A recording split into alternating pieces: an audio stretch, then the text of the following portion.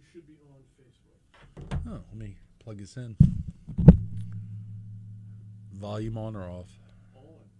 Hey, Facebook Live. Franz Borghardt here with the Geaux Rouge Show from Talk 107.3 studios over at Guarantee Broadcasting. We're going to be kicking this thing off in a couple of minutes. We've got a great show lined up today. We've got Anne Milneck from Red Stick Spice Company. We've got Marlee Pittman from Mid City Redevelopment. And then our second half, we're going to kick it old school. We're going to have Tommy Talley in the studio talking about just about anything Tommy Talley wants to talk about. You ever hung out with Tommy Talley, Brian? Yes, got to spend some time with Tommy at uh, in Washington D.C. earlier this year. For DC Mardi Gras? Yeah, What was that like? uh, that was where I learned that I can't hang with Jay Ducote. And Tommy or just Jay? You know, I think the two contributed to each other, so probably both. Uh, just it's, it's Was it's it a speed eating, I don't run at. drinking? Yes, yes, and yes. Only difference is those guys didn't have to be up for a morning show. Although to Jay's credit, he was up with me in the morning, so uh, yeah, it it- not not my pace. Fun though, lots of fun.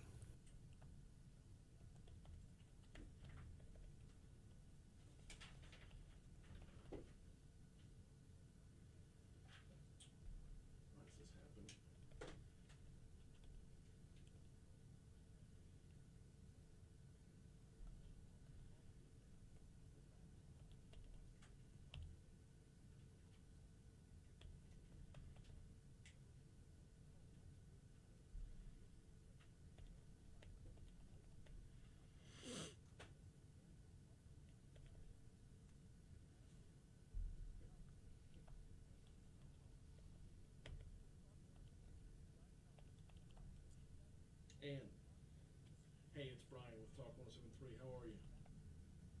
Doing all right. You ready to roll with Franz here? Actually, on the phone always sounds better than it does on, on speaker, so we're, we'll be good to go. Um, let me drop you on hold. We'll get the show started. Going to give some sponsor mentions, an intro first, and then coming your way, okay? All right. Hang tight.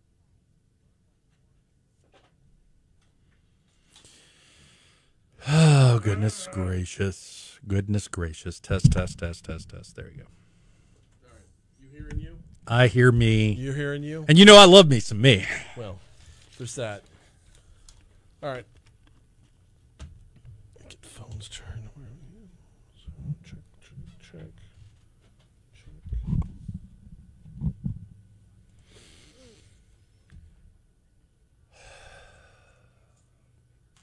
check. I'm not going yet. I'm just testing it here. You're good. All right.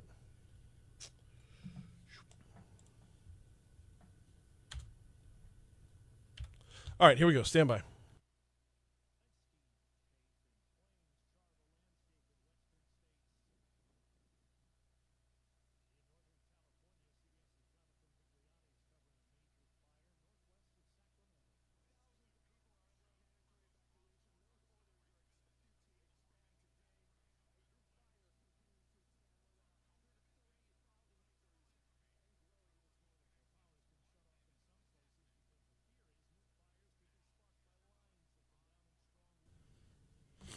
All right. Welcome to another episode of the Geaux Rouge Radio Show, episode 41.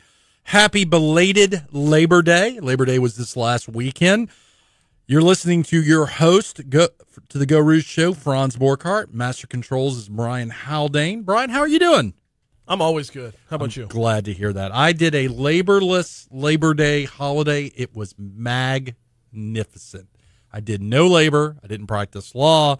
I didn't do anything with the Geaux Rouge show. I slouched on the couch, watched a little Amazon, binge watched Cobra Kai, binge watched the first three episodes. I don't know if it's binging, if it's the first three episodes um, um, of uh, The Boys over on Amazon. So, yeah, life's good. So before we jump into our show today, let's thank our sponsors. These are the folks that make the Geaux show possible. We have the Smith Shanklin Sosa personal injury law firm. Um, they are your go-to personal injury law firm. Uh, definitely want to call them if you have a personal injury need. Um, BREC Parks, Sullivan Steakhouse, your neighborhood steak restaurant. I think I'm gonna get some I think I'm going to get a burger today from Sullivan's uh, this evening uh, for dinner. Uh, speaking of burgers, we're going to have to talk about the slider competition that's coming up next week, Brian. Also, sponsors Borghardt Law Firm. That's my little sh- my little shop, uh, focusing in criminal defense law. If you have a criminal defense need, give us a call. Louisiana Tech Park and La Divina Cafe, Italian Cafe, open every day with your custom made from scratch breakfast. I missed it this morning, um, but you definitely don't want to miss it yourself. So definitely check them them out. So if you want more information about the Geaux Rouge show, you want to go to www.geauxrouge.com. And if you want to drop us a show topic, email us at info at geauxrouge.com. Without further ado, our first guest for the first segment is Anne from Red Stick Spice Company. Anne, how's it going? Really well. How are you, Franz? Well, I'm I'm I'm good, and partly because of the wonderful things you guys are doing at the Red Stick Spice Company. So, as you know, Anne, and as Brian probably doesn't know, I've been on a hot tea kick. Right, I'm living yeah. the hot tea life. I'm living my best hot tea life. And your employees, you guys, have helped me immerse myself in the hot tea world. Um, you have very helpful staff. They are very unpretentious. In in in, I look. I walked in and I admitted I knew nothing about tea, um, and so now I'm pretty much coming three or four times a week, which is probably it's probably a bit excessive, but you know it is what it is. And and what people don't know is not only can you buy hot tea there, like to, to steep at your house, but y'all will actually steep it for the customer while they are shopping. Um, we, we we do, yeah. Oh my God, love you! I love you guys so much. So so what I want to talk to you about, Anne, a little bit about is what is going on at Red Stick Spice Company. I want to talk a little bit about spices for beginners, and I want to talk about tea if we have time. Um, as as I again will mention, I'm a tea nut now. So okay, so you guys are expanding right now, right? We are. We are in the permitting process of our cooking classroom. Awesome. It's about 2,000 square feet, right adjacent to our shop in Mid City on Jefferson. So we took over that space and we have been um, renovating for the past six months, and it's looking beautiful. And we should be up and running with cooking classes very soon. Well, you know, I saw the space. I, I did a demo um, for Healthy BR not too long ago mm-hmm. with my son Fisher. You were you were there, um, and I got to tell you, I love the old kitchen, and I say old kitchen with love. I mean, it's a good kitchen, your demo kitchen that you currently have, but this new space, wow! I I am expecting good things from you guys. What are you planning to do in that space? So the you know it's funny about the old kitchen. We're kind of in that mode. If you've ever heard stories about uh, chefs who um, renovate their restaurant but refuse to let anyone touch the kitchen because they're afraid if they change anything, the magic's going to change of what comes right. out of that kitchen. And we're kind of like nervous because it's like we've done such good things in this little space. And when I say little, I mean tiny with zero built in appliances, right. all on portable induction burners. And it's fascinating to me. And one little oven, one little convection oven.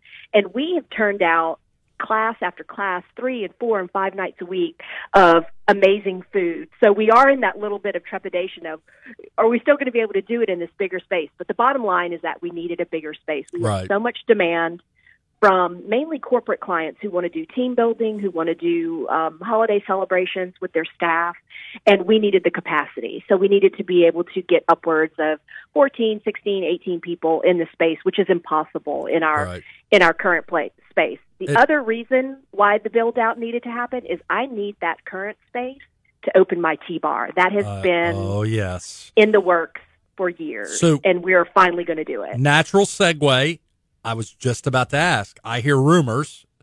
I hear rumors about T Bar. Mm-hmm. What is a T Bar? What are y'all thinking about doing there? So, if you think about what a barista does for you in a coffee shop, it's mm-hmm. going to be the same um, scenario, just with tea, all tea. So, you'll be able to get um, a simple pot or cup of hot tea. We'll, of course, have iced tea daily. Um, we'll be doing, you know, lattes and then, of course, blended drinks um, because everybody's all about those frozen icy um, coffee drinks. So we'll be doing those same blended drinks with tea.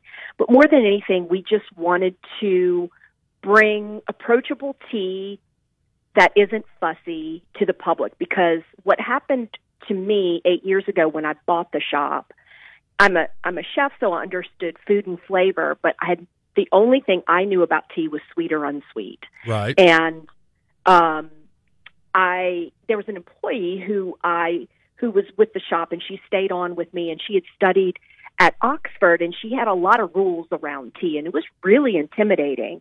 And I was like, you know what? I I'm tired of watching customers come in for tea and then not leave with tea because Right. they're so confused.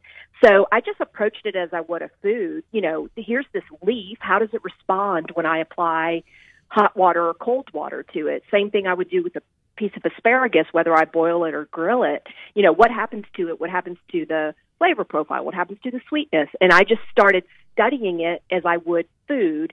And I did a lot of online courses. I did a lot of tea training out in California. Um, and, you know, I earned some certifications, which are really cute hanging on the wall. But the bottom line, you know, yeah, I'm a tea sommelier, and people say, "Ooh, Uh, wait, what is wait, that?" wait, wait a minute. Wait a minute. There's tea sommeliers. Yes, Uh, Yes. I'm writing this down right now. yes. New life goal for Franzi. tea sommelier. So the main thing I wanted to do was be able to talk to in, in customers about this tea and take all confusion and intimidation Right. away. And um, and the bottom line is you can study. There's a Chinese proverb: you can study tea every day of your life. And the day you die, you know nothing. So even though I have those certificates on the wall, I know nothing. So it's important that we are constantly we cup teas every day in the in the shop. Employees have unlimited access to drinking tea throughout their shift because that's how you learn it. So you drink it. I live in Mid City. My son goes to school in Mid City. Um, I will tell you, Anne, you are just you just happen to be located in my favorite area because I can go get tea from you guys. I can go to Jed's Po Boys. I can go to Reginelli's. That entire little area to me, that is my mid city, right? Um, and how fortunate was it for you guys to be able to expand in your current location? Um, but but bigger point, bigger point. I will say this: your fingerprints are all throughout Baton Rouge. I went to City Roots this morning, not to mention another coffee shop. While La Divina sponsors me, but I went to City Roots this morning and got some tea that you guys sell. And the reason I know that you guys sell it is because I bought it from you guys. And then when I got it from City Roots, I was like, "Where did you guys get this from?" And they're like, "From Red Stick Spice." um, or at least that's where they told me I could get it from, it, which I already knew. Um, and then I, I'm just so I like the fact that there's a tea sommelier, and because when I walked in, um, I don't remember the name of the employee that helped me, but I was so intimidated by the different tea options you guys had because it's, it's a little overwhelming, right? There's three different racks of all these different types of teas, and we just had a conversation.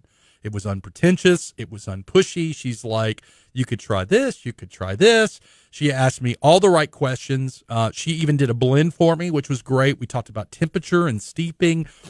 I love it. I love it. I love it. Um, in our remaining time, Anne, you guys do more than just tea. You guys do spices too. You do olive oil, uh, um, uh, balsamic vinegars, pretty much anything you need for the kitchen, right? In terms of spice and, and, and essentials. Exactly. Yes.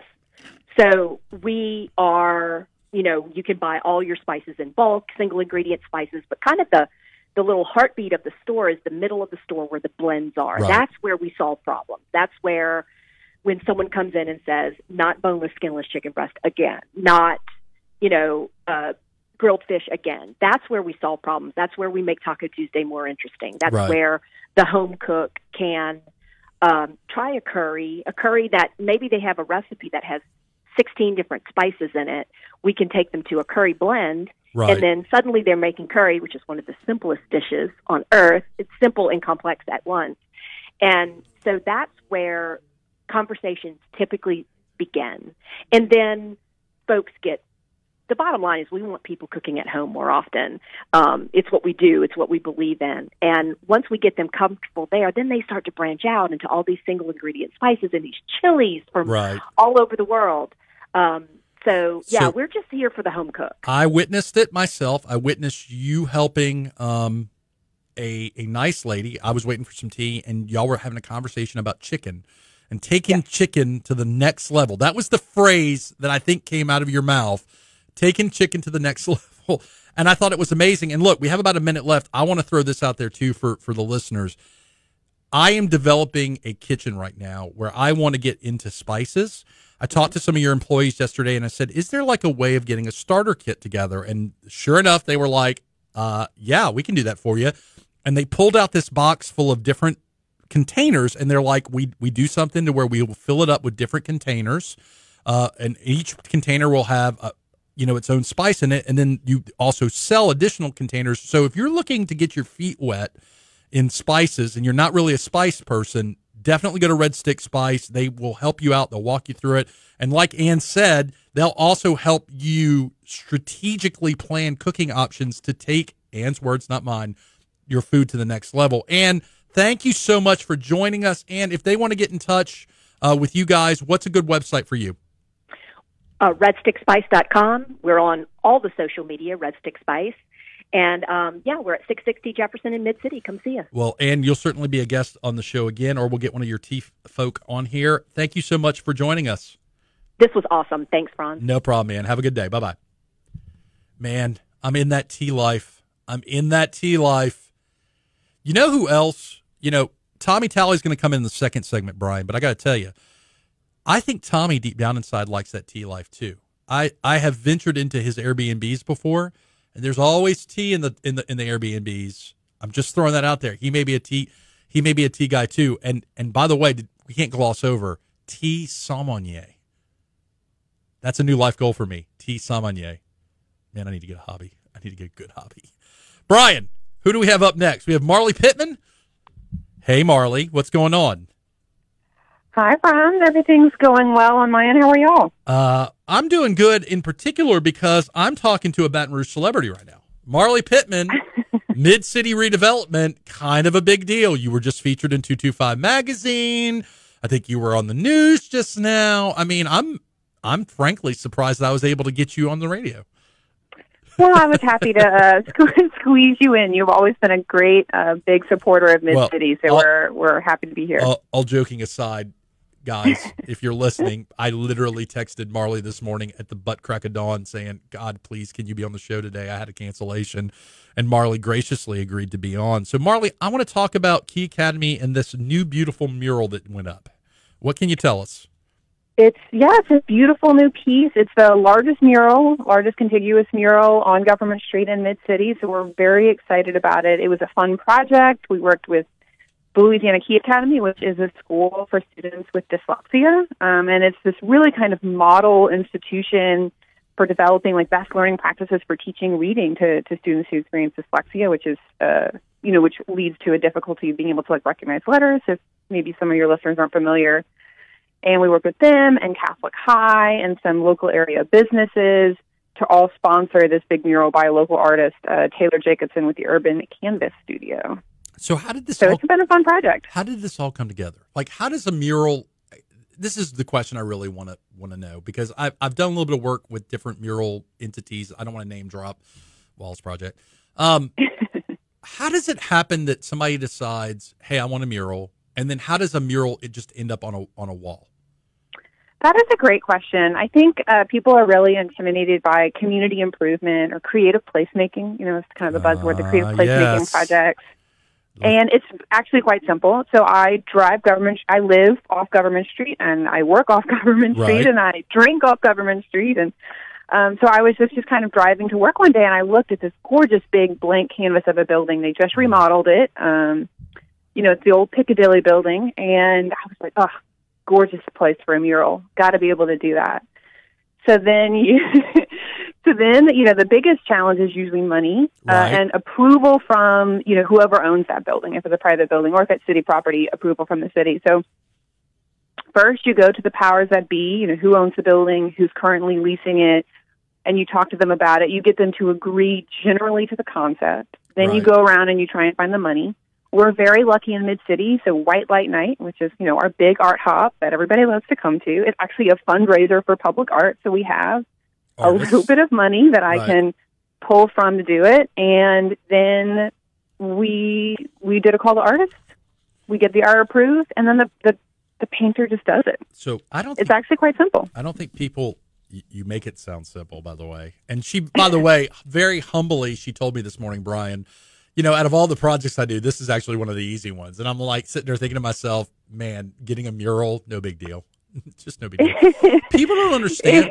It, it is easy. So, so or it's easier than some. It's so than some. I was going to sponsor a mural for the Baton Rouge Public Defender's Office. They're in the governmental Oh, building on the seventh floor, and I did not realize how, not to be tacky, these things are not cheap. They're No. expensive, right? The it's it's if you think about it, it's a big giant piece of art on the side of something, and it's massive. And and like I priced it, and I was just like, uh, I don't think I can donate that much. So So yeah, art is. I mean, you have to pay your artists. I mean, so Yeah. we want a thriving art community in Baton Rouge, you got to find jobs that could pay artists. You know, that's you know, keep their bills paid so they keep putting out art. Um, and then you got to find ways to showcase that. I mean, so that's an incredible project, but no, it is not cheap. so If you can find an artist who really believes in the project, they might be willing to kind of work with you a little bit. Um, but I'll tell you what, exposure does not pay their bills. So I was just about to say, and I'm excited that we have Tommy Talley coming in second half because artists and lawyers have something very in common, very much in common. Hmm, you This- don't hear that every day. This phrase of, "Hey, why don't you just do this for no charge because it'll help your exposure," and I'm like, helping my exposure don't pay no bills, you know. yeah. I mean, it's just, oh man. And so I, when art, I hear an artist, and I consider Tommy an artist. I consider a mural. Yeah, I do. art. I consider I consider chefs artists. I mean, Yeah. I think one thing that's beautiful about Louisiana's culture as opposed to other ones is we have a really big understanding of what art is, and it's food, and it's music, and it's graphic design, and it's you know traditional fine art. It's all of those things. So changing gears a little bit, um, you're at the Mid City Redevelopment, right? Yep. So my I'm the director of community relations at Mid City Redevelopment, and I sit on the board of directors for Mid City Merchants and Mid City Gras. What is the mission of that entity? What do you guys do? Yeah, so we are an affordable housing organization and a neighborhood revitalization group, first and foremost. So we build affordable homes for families. Um, we rehab homes, we prevent foreclosure, we have homeownership education, and then we work a lot with civic associations, providing direct training to residents and dollars for community improvement projects that they identify, that they carry out. Um, so, you know, some pretty famous projects, I would say, for some of, for some of our work is like the Pocket Park in Capitol Heights, Right. um, the complete redo of the Longwood Court Homeowners Association on Government Street. So we do a lot of that kind of work, um, and it's really meaningful for trying to keep the area affordable, but also growing and moving and changing. I was just about to ask, did you used to use the, the phrase affordable housing in the same conversation as Capitol Heights? Because yeah, so our because I have so we are not the only ones building homes right. in Mid City. right. So what we believe in, um, you know, this kind of brings into the whole gentrification conversation, right? Right. So That's kind of where I was going. I didn't want to no, ambush ahead. you. We can talk the hot button issues. I don't care. Yeah. So gentrification, we're actually trying to parse that out. So there is absolutely nothing wrong with new people coming into a community, Right. And that they're bringing their ideas and their energy and their money for for local businesses or whatever. That's all fine. The problem is displacement. So it's about Right. making sure that there are some spaces that maintain affordability so you have a mixed income. That's where community development kind of best practices are moving. You Mhm. don't want an entirely poor neighborhood and you don't want an entirely rich one. That doesn't help anybody, right? right. You want to have places that are affordable so artists can live there or people, you know, you can secure and prevent foreclosure so that people aren't kicked out of their neighborhood where they've lived their whole lives and they can keep that history alive and well. So it's about it's a delicate balance really whenever you're talking about community development but we um, the homes we build we sell to low to moderate income families and they must maintain affordability for 15 years So I, I will tell you, I appreciate what you guys are doing. Um, Mid City, I, as I said in the first segment, I have a special place in my heart for Mid City. It's where I live. It's where I like to play. Um, my favorite businesses in Baton Rouge are are mostly located in that in that corridor, um, and keeping it. I'm going to use the word pure in the sense of of keeping it kind of with the same atmosphere that it has that I've come to love. I'm I'm very pleased about that. Um, and I thank you guys for doing what you've been doing. Uh, both making Baton Rouge beautiful as well as making it to where people can and actually enjoy the beauty by being able to be in a place that is on fire right now. So, Well, thank you, Franz. So- you know, I will say next year is the 30 year anniversary of this project we call Mid City. Right. You know, in 1991, a bunch of people, this wasn't named that, there was no name for this kind of semi urban region between downtown and suburban Baton Rouge. A bunch of people just sat down and said, let's name it.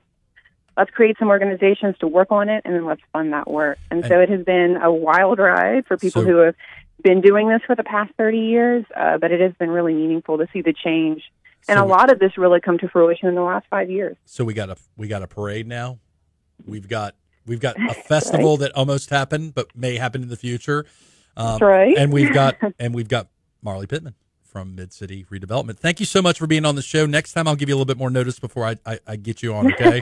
That's okay. I'm happy to talk about this anytime. All right. Thank you so much, Marlee. All right. How much time we got? Okay. We're going to go to a quick break. Brian tells me we're going to go to break. When we come back, we're going to talk sliders and how many sliders can Franz Borghardt eat? 20. And we're going to have the talented, the awesome Tommy Talley on. So we're going to take a break. I'm going to run to the little boys' room. We'll be back. Have a seat, man. I'm going to go use that. No, no worries. I wish I could have gotten down right away, but I was Dude, like one minute. just pulled open immediately. So Uh, yeah, that it's not easy. supposed to do You that, feeling but it secure? does. You feel secure about that? I do. Do I you roll feel up in here- charge? I roll up here at 4:30 in the morning, feeling super secure. Um, yeah, we, we were just about to flip to the next call, to the next interview, or else it could have come down right away. Not a problem at all. But yes, the last person in is supposed to pull it back or Yank it shut. double Got it. double check. Copy that. How have you been, man? Oh, I've been good. Glad to have the kids back at school. Very, very much so because uh, my schedule is just nuts right now. Yeah. My schedule and Chuck P's schedule are roughly the same. Yeah. Hope he always sounds tired, but when I heard him on 98.1 last night, I was like, this man's are like sleep. He's he's asleep. Like he he gone. Yeah.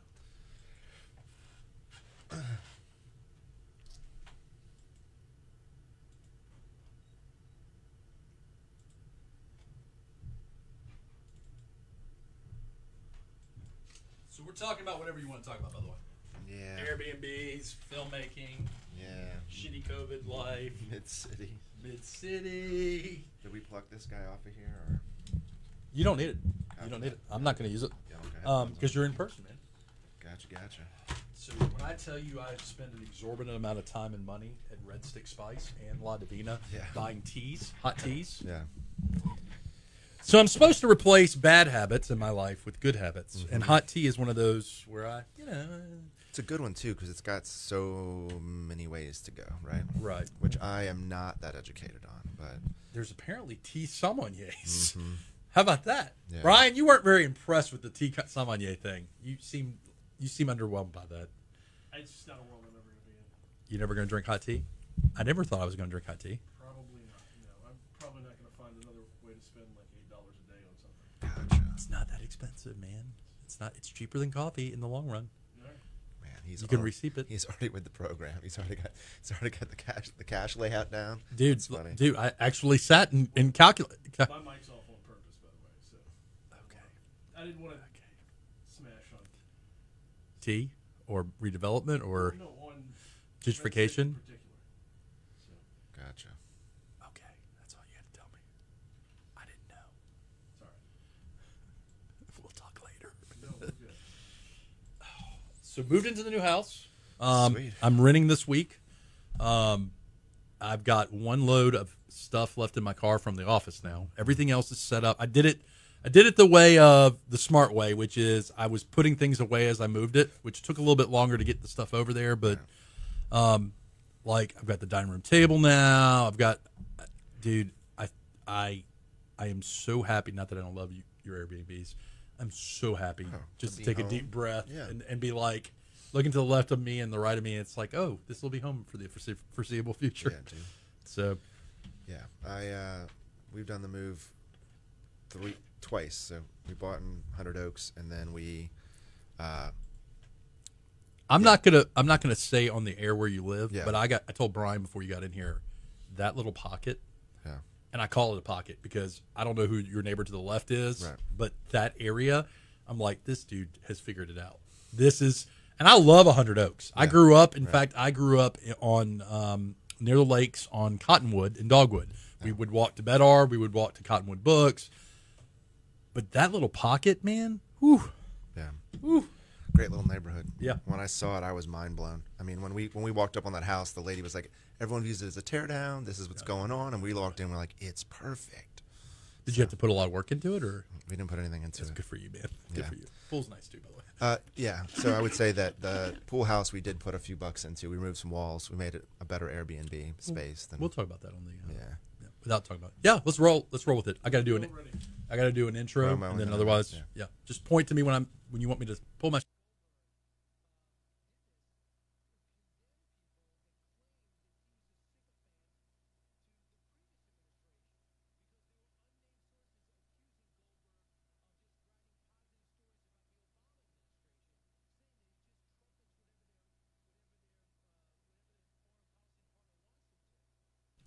All right, welcome back to the second half of the Geaux Rouge Show, episode 41. This half, we've got Tommy Talley and Burger Sliders to talk about. Before we jump into that, this is Franz Borghardt along with Brian Haldane.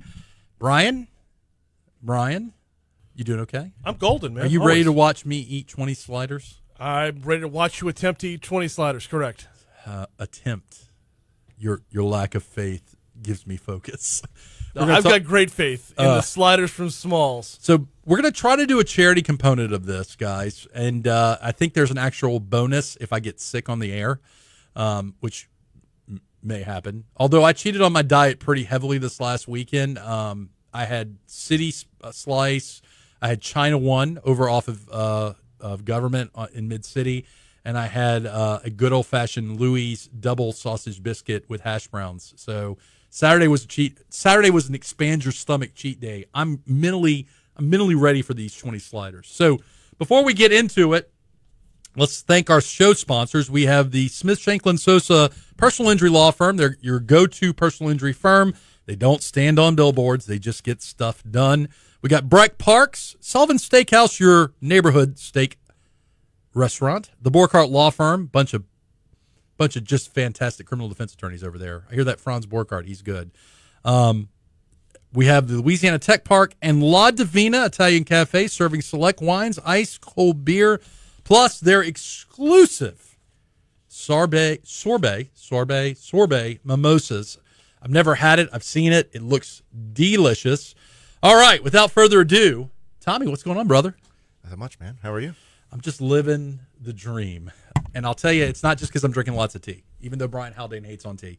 Um, I wanted to get you on the show because, one, you're a storyteller. You identify yourself as a storyteller. And believe it or not, what I do for a living, um, not just the Geaux Rouge stuff, but as a lawyer, I tell stories for a living. Um, nobody views it that way, but that's, I mean, when you go to seminars and training, that's kind of what we do. And then also, you're in the Airbnb world, and I want to chat with you about that world. Um, you know, not because in the first segment Marlee was talking about gentrification in Capitol Heights, but more so because the Airbnb world has has been on a roller coaster. Um, I, although I would imagine that COVID stopped some of the pushback, but probably affected your your your business. So we can start wherever you want, For brother. sure. Yeah. I mean, when we talk about storytelling, I mean, I'm a documentary documentary style film Right. tell story storyteller by trade, uh, reality TV, then documentary. Definitely not scripted. Definitely Right. not a writer in that way. I like meeting people, following them, and trying to tell their story And as you- awesomely as possible. And you've done this in LA. I mean, it's not just a local Yeah. thing. So for sure. Uh, but yeah, Airbnb became an extension for my wife and I to have something to do uh, to build our real estate portfolio. Um, and basically, we, we like creating. So Right. we create a space, and when people visit our city, they get to experience through our lens, and we love that. And we've met plenty of people um, that way. We have friend now friends who've moved here after staying, being a traveling nurse for three months, staying on our property, and now they live in Baton Rouge and call Baton Rouge Right. home. And so there's just a portion of that that we we just really love. You know, like this weekend we spent going to look out in St. Francisville at uh, Potential. an old house. Yeah, just Uh, yeah. super fascinated. So I think there's taking something old, making it new or ish, refresh, whatever, and then getting letting people stay there and experience your city that way is fascinating. So the the thing I liked, as as listeners may not know, I've been a guest of Tommy's Airbnbs before for various reasons we won't necessarily go into. Um, but the thing I liked about your Airbnbs is that you can take space and make it into something unique. It is kind of like a canvas, right? Um, I also was very intrigued at some of the the I don't want to use the word rigging, but but some of the design of ways you were utilizing space, which I've now incorporated into my life because I was like I'd look at something and it's like maybe a way you had a power strip or maybe a, a way you did something. And I was like, that's really smart. That makes perfect sense that he's doing that. So um, the furniture all had looked like it had a story behind it. Um, so I want to back up a little bit because I don't know when it was, and, and I'm I'm taking my lawyer hat and my Geaux Rouge hat and, and playing with them here. Um, there was a movement for a while to kind of put the kibosh on Airbnbs, and, and like I said, it seems like because of COVID or for other reasons, everybody's kind of not talking about it anymore. Um, give us a little background, if you will, about and and then look, we can approach it from a there's the historical area background, and then there's the hey, just a just a Airbnb in downtown Baton Rouge. Sure. So Yeah, so for us, I mean, watching the roller coaster that was Airbnb, which was we get our first Airbnb, turn our pool house into it, pretty much time and a half, almost double what our normal rent to a college student would be. So we start to understand this math can change our family's future, Right. And the way the cash flow works. So we start to dabble in that space and look for more opportunities. I'm in Las Vegas probably six months later on a job, talking at a blackjack table, and a guy hears that I'm talking to a lady about Airbnb. He's like, "You own Airbnbs in New Orleans? I own 50 in New Orleans," and that for me was the beginning of this understanding.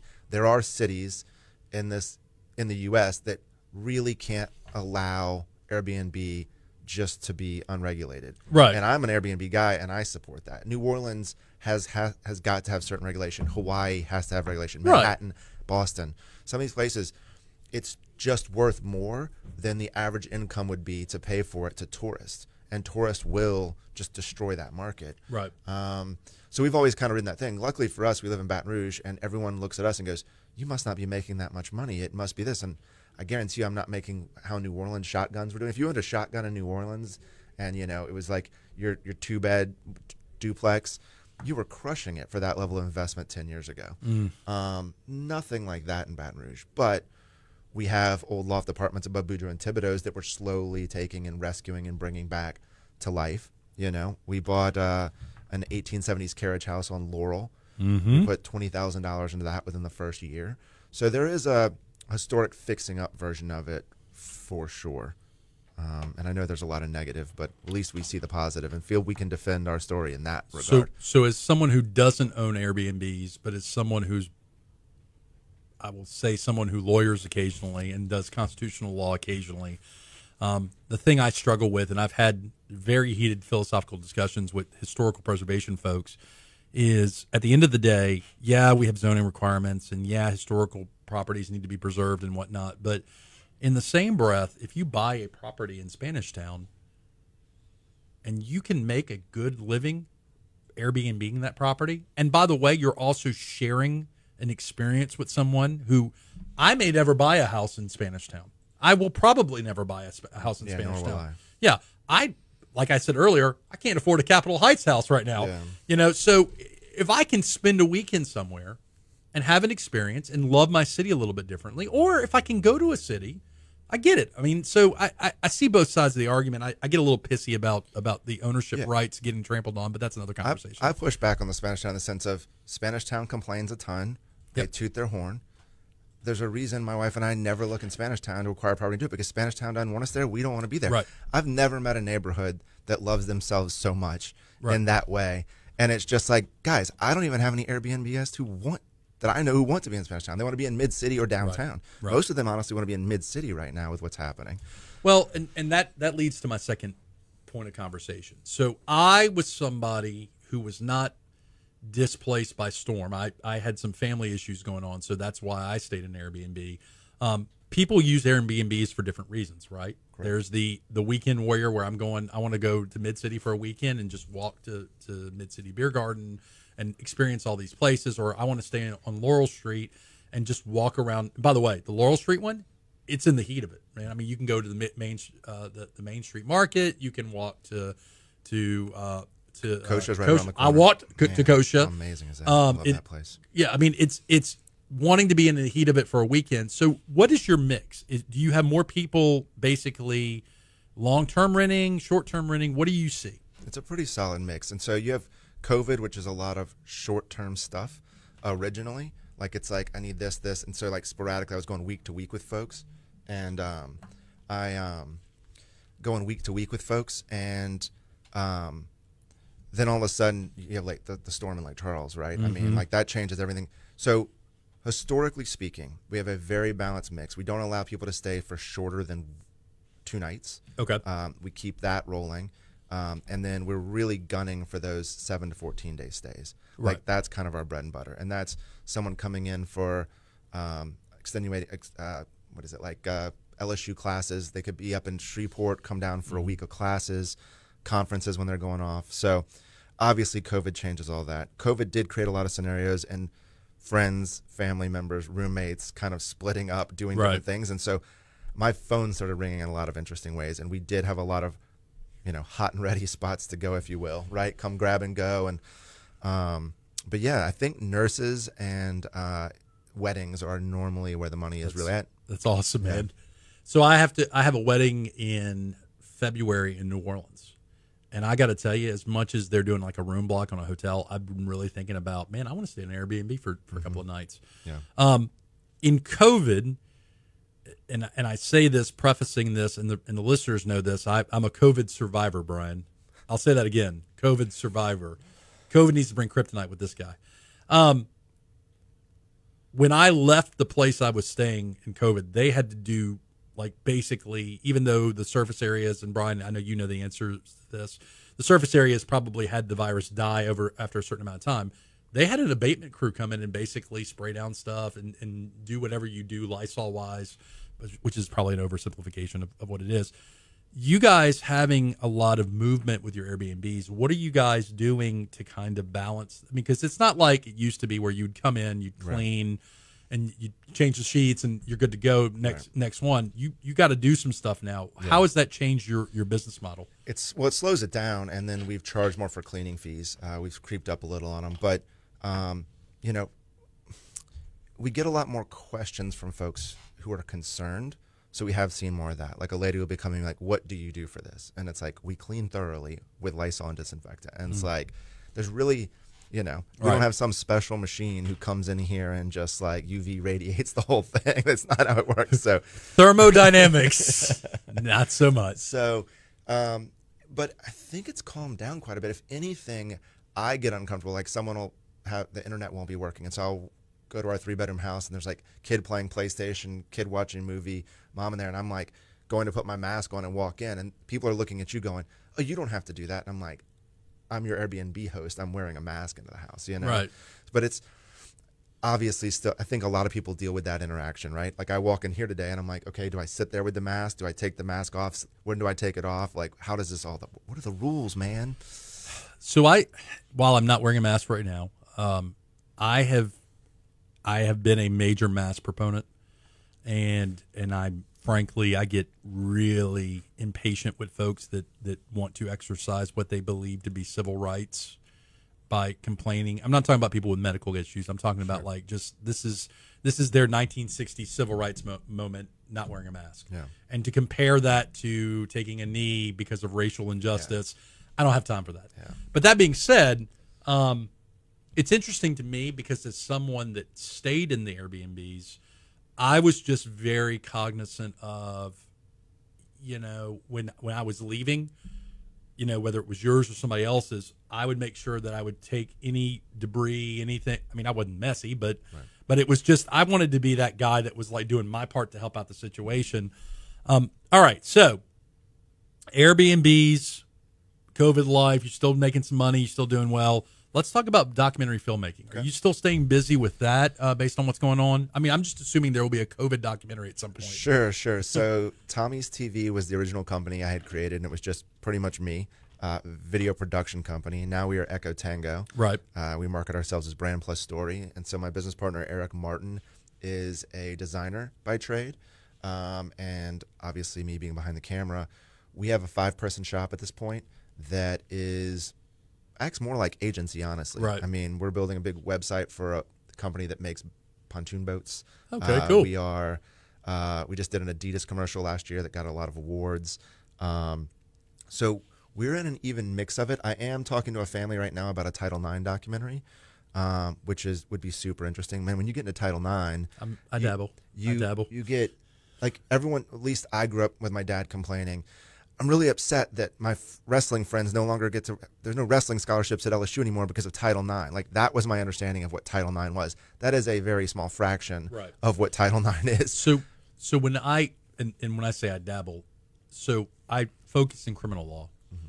but one of the major areas of law I do in representing students is there's generally a Title IX component to a lot of the crimes that that sexual assault and all that, and folks think it just folks a lot of times when I say I do Title IX work, they think, oh, you mean like sports? And I'm like, mm, not so much. It's it's it's the full gambit. Yeah. And then and then candidly, it is a I call it the Wild Wild West because the rules and laws that surround it are nothing like a courtroom.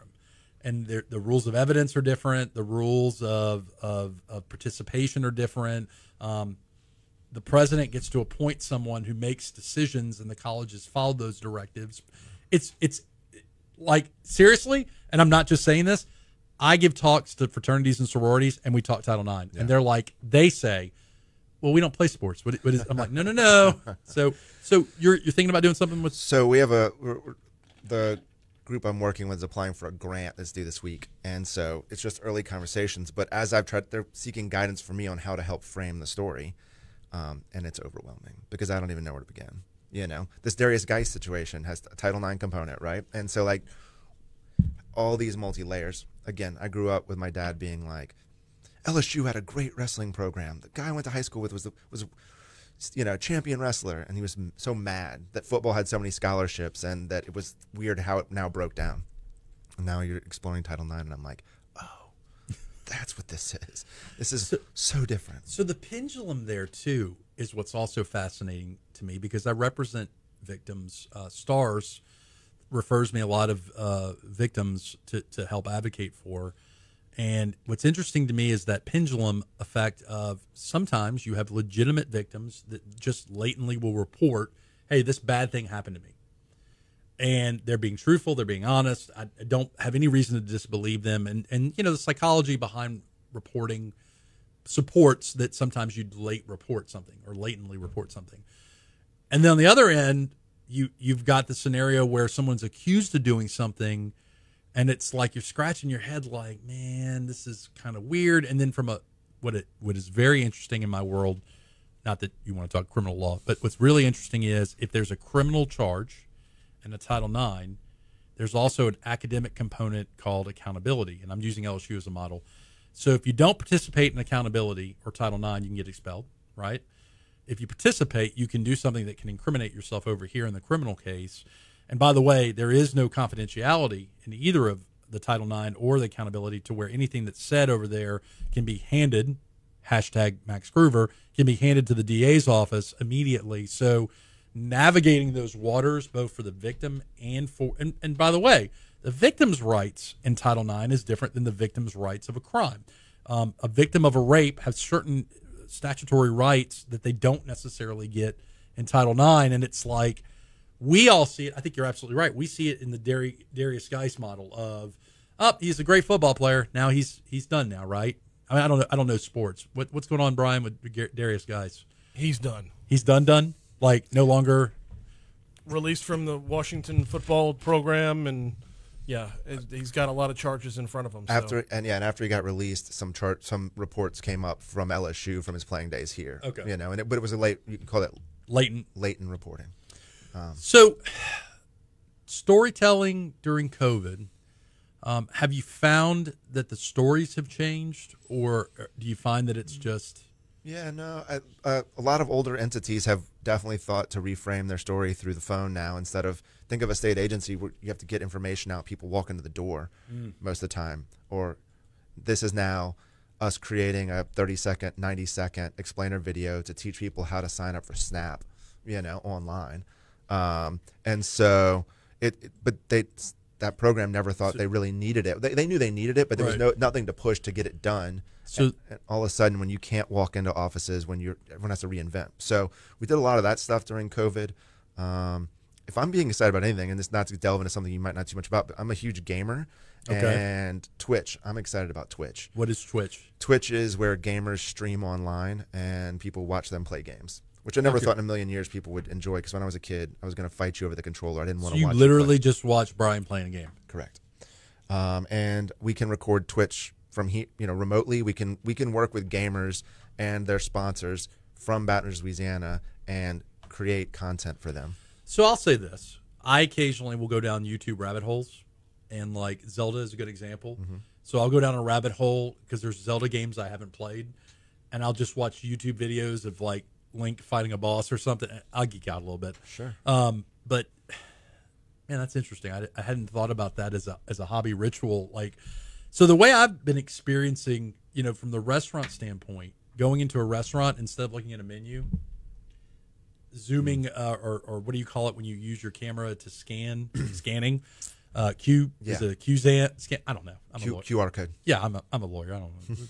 but yeah, that's a new to me. Uh, in fact, when I was having you come on, I was thinking about man, that's an interesting kind of because I did it last night. I did it at Syrups uh, recently. I've done it at Umami, where it's just there's no, and the menu has part of the story to it, right? So Sure. Well, from a technology perspective, QR codes have been around forever. Right. We didn't have readers built into our phones like that. You'd have to download a separate reader, and then people would never use them. So, as a, from a design, from a company side, when, when you're helping a client, you'd almost never build them. Now that you just open your phone on the quick thing, and it automatically knows it's a QR code, and then you know It's on fire now, The huh? data, yeah, it goes. So we got about two minutes left. If people want to connect with you and what you do, whether through the Airbnbs or through your your your documentary company, uh, Echo Tango, Yeah, right? Echo Tango Creative. You can find us on the Google. Um, and uh, as far as Airbnb goes, the best way to find us is just going to Airbnb and checking for your dates. Uh, once you get there, you can find us. Uh, if you run into us, you can click on us and see our whole, whole portfolio. We have we just launched our 10th. Um, again, we do not own all those. Uh, we've been approached by uh, a gentleman who owns a lot of older properties, and there's a good balance there. We take them, put some money into them, fix them up, and then you know get them rolling. So I, I think I think I would be remiss if I didn't again emphasize that the style of your of your Airbnbs. It's it's it's kind of like okay, so you're we're we're comparable ages, so there is that feel sometimes. Like one of the cool things they had, uh, Brian, was the gaming systems. Um, it made me a little nostalgic to. I mean, you're a gamer too, right? You were a gamer at some point, right? Uh, enough to be familiar with it. Right. You had like an old school. You had a super. and, and then Nintendo 64. Yeah, So that that one unit was built out where that one bedroom is basically my high school bedroom. It's got a Bo Jackson poster on the wall. Right, right. Nintendo 64. We originally had a CRT in there, which eventually burned out, so I had to pull it out. And moving those things makes you want to never get another one because Right. they're heavy. So, in our remaining time, first of all, Tommy, thank you for coming on. Um, I definitely, if you're looking for an Airbnb experience, uh, Tommy knows all about it. I would actually advocate um, if you're thinking about getting into the industry. Uh, you know, you certainly would be somebody that I would want to talk to. All right, so we got a little bit of time left. Burgers next Friday, Tommy, Brian. I'm coming in Friday. I'm sitting down. I, I made a I made a check out that my body may not be able to cash. Uh, I made a comment that one, sliders aren't real burgers, and two, that I could eat 10 burgers no problem, and then that became 20. So now the, the, the question is, is can Franz Borghardt eat 20 sliders from Smalls Sliders? Smalls is going to donate the sliders. Um, there's going to be a charity component. Um, uh, Jaron over from uh, NBC Fox has a little uh, GoFundMe page to help uh, Lake Charles uh, hurricane relief. So there will be a Cherokee component. I think the betting. I haven't really talked to Brian about it, but I think it's going to be a betting for or against me doing it. This is such a stupid idea. 20 is a big number, man. This is such a stupid idea.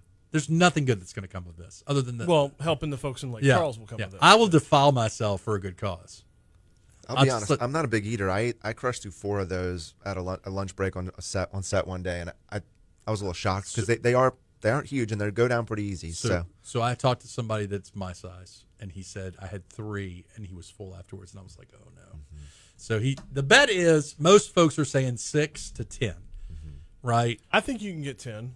Right. Yeah. Twenty is going to be you're gonna be painful. hurting at 10, I got- 20. you're gonna want to die. So forty five minute. Brian has imposed a time limit, so I have to eat in forty five Mm-hmm. Brian minutes always too. making rules. yeah.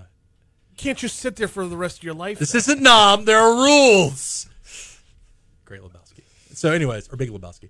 All right, guys. Well, that's about it for this episode. Tommy, you're definitely going to come back, man. Look, normally we see you on Jay's show. You're on other shows too, right? I mean, Really, just Jay in this? yeah. I'm this. I'm like a diet version of Jay. I'm like a like a tab version, retro tab. Anyways, that's about it for this episode of the Geaux Rouge Show. Stick around uh, for next week. Um, I don't really know what's going to be on next week, but I'm sure we'll figure it out. And so again, Franz Borghardt, Brian Haldane, y'all have a good week. We're clear on. So, so, so, check this out. Tommy's Airbnbs had a wide assortment of teas, and that I got to tell you, that was the. This sounds so asinine. The extra level for me was not just the coffee maker; mm-hmm. it was the, huh? I could have tea if I wanted to. The mini fridge. I forget what the mini fridges had. I think I think there was a beer in Laurel Street, and then there was something in the in the pool house one. I didn't drink it because I'm not drinking these days. Right. But it was like I'm like, ah, Yeah. So two Paradise Park in the fridge, two bottles of water, assortment of teas, granola bars, microwave Yep. popcorn. When you do all that, I think we're at about six dollars per guest if they if they consume everything, which Right. a lot of times they don't. Right. Uh, if they're there for three, four, five days, sure, but we find that just that few extra bucks goes a long way. it's the little things. Yeah. Um, uh, I enjoyed. I'll, I'll tell you this fun story, and then we'll, we'll cut out Brian. Um, when I was staying at Laurel Street, Tommy's mom was the the gardener, and there was some gardening, and that was right before I entered into my plant addiction. Um, it's a it's an addiction. It's I need help. Um, and I was watching your mom just like work all these plants, and I'm like, she looks so happy doing it. I don't know if she was in fact happy. That's So- her. She's fought guests who like stay a long time at Laurel who water the plants for her. She's like, I don't touch them. man, I those don't. are my plants. I'm gonna water them. I'm good. That's like her escape from. I don't. I don't. You know what? I, I knew better. Anyways, y'all have a good one.